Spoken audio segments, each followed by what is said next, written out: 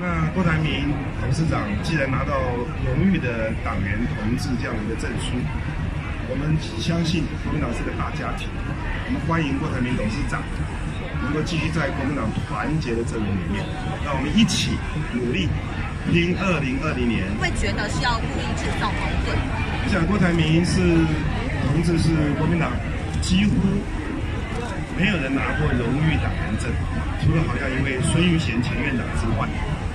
那郭台铭董事长既然拿到荣誉的党员同志这样的一个证书，我们相信国民党是个大家庭，我们欢迎郭台铭董事长能够继续在国民党团结的阵营里面，让我们一起努力拼二零二零年，让台湾安全，人民有钱。希望郭台铭董事长，我们一起。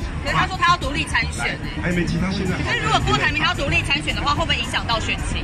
呃，我想现在我们不谈，因为现在现在党内有党内，现在时间还不到，好不好？我们希望。所以还是希望可以先尽量整合，是不是？好不好？当然希望能够还是一个大家庭，好不好？而且我们大家都非常的希望郭台铭董事长跟我们一起并肩作战，我们团结起来。